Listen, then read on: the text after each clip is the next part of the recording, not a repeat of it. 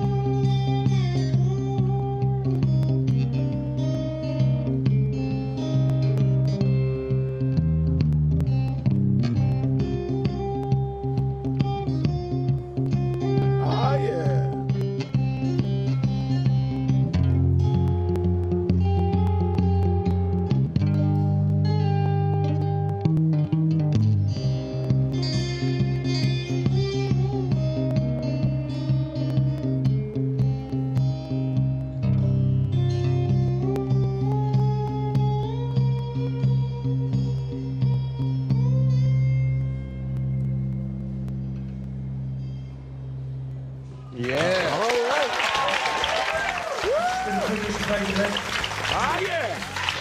Bravo, bravo, bravo, bravo. Uh, I like him. He's got everything. Yeah. really in tune. The slide was very difficult, imagine, and his tone was phenomenal. I forgot where I was. and the harmonics. Yeah. That's Harmonics were pure, like that nice And the distorted bar was very mid-range. And the solid low end, the, the boom. It's boom. beautiful. Space was I think he played gorgeous. Oh, very good. And he played bottleneck. Very innovative. He was great. He was really, really great. Easy to listen to and full of tonality. Uh, ju- it was warm and funky at the same time. He really got me He was somehow. special. He was special. Yeah. I, I vote for Steve. Three of us vote for Steve Morrison. I began playing guitar at a very early age, and there are stories that I would hold my father's guitar like a bass guitar as a, as, a toddler. But I think it was around four years old that I began to learn. My father played folk music and, uh, and country music, that was his thing. So he would show me little things each day, and my guitar playing grew very sort of naturally, and it, it was a gift in a sense because I didn't really have to learn. I was just around guitars, and I would pick up little things. I did a lot of busking, uh, uh, and that was really was where I built up my strength and stamina. Because when you're busking, you have an audience and don't have an audience. You have that in-between thing. Some people are coming along the street, so then you think, all right, I'll start playing my good stuff. My guitar dream is really connected to winning an audience. Um, it's very much to do with the people that I meet and the people that I get to play for. And in that way, I think musicians are gifted because you get to touch people and talk to them, communicate in a way that can often be difficult in ordinary life.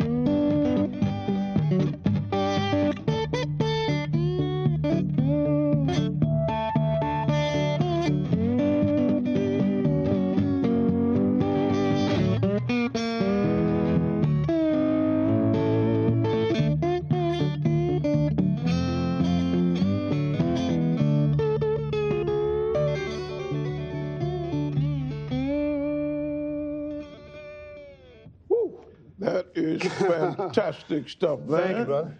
Wow, that's beautiful.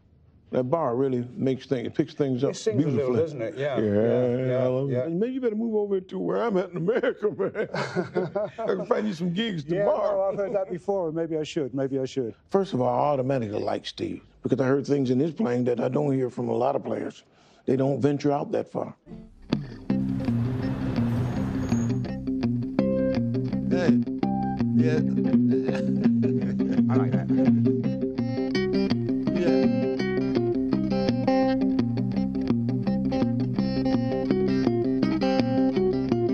Oh, yeah. I'm really excited to be mentored by uh, Wilko Johnson today. I know he comes from a similar sort of blues background. There's something simple about his approach, but it's not unsophisticated. So I think there's something to be learned from his attitude to his music, and I, I want to capture some of that for myself. Steve's the kind of guitarist that excites me because he's playing. He's, he's got an individual style. Um, you know, it's a blues style, but it's uh, he, he's uh, got his own way of doing it. And I mean, he, he was he was giving me a couple of little whoa, you know, like little flash bits that, that make all the difference. Uh, that's nice. hey. Cheers, Wilko. From you, that means a lot.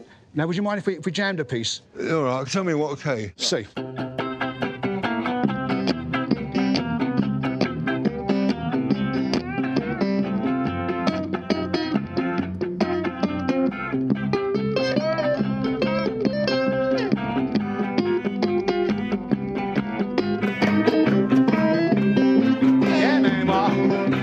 able to show uh, Wilko some of the little blues techniques I use for rhythm playing, and he seemed genuinely impressed. I mean, so much so that um, he was happy to jam with me, and we, we got round a few choruses, and it sounded really, really good.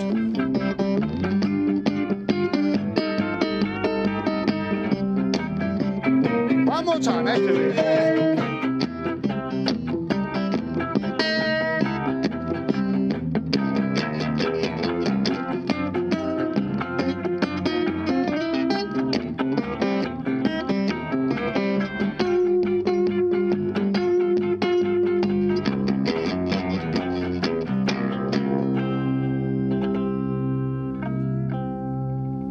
The last word's always yours.